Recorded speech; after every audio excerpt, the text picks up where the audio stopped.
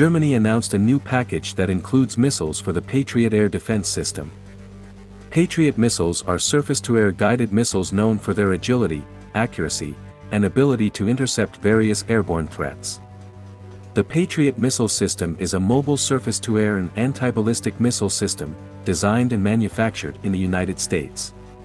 It was put into service in 1981, reaching its initial operational capacity in 1984. The main designers of the system are Raytheon, Hughes, and RCA, while the manufacturers include Raytheon, Lockheed Martin, and Boeing.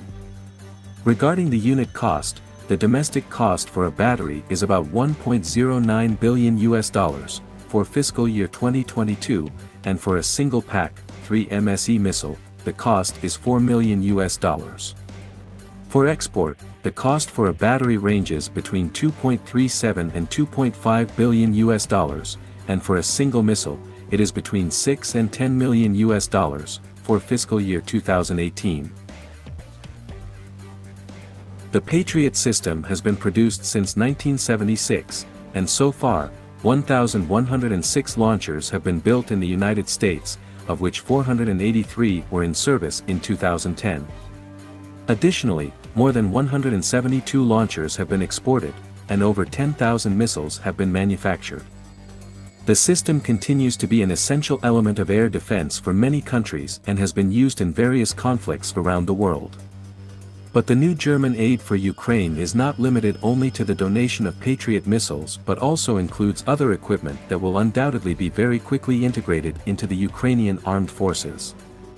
The aid package also includes 10 RQ-35 Heidrun drones, mainly used for reconnaissance and surveillance. These drones provide real-time intelligence, enhancing situational awareness on the battlefield.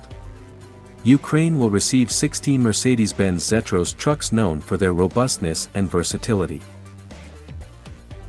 These heavy-duty trucks can be used for transportation and logistics, and serve as mobile command centers, enhancing the mobility and efficiency of Ukrainian forces. The aid package also includes 510,000 cartridges, ensuring an adequate supply of ammunition for the training and operational needs of the Ukrainian forces. German military aid is one of the most significant and does not seem to be waning at the moment. The German government is even still in discussions to potentially deliver Taurus missiles to the Ukrainians.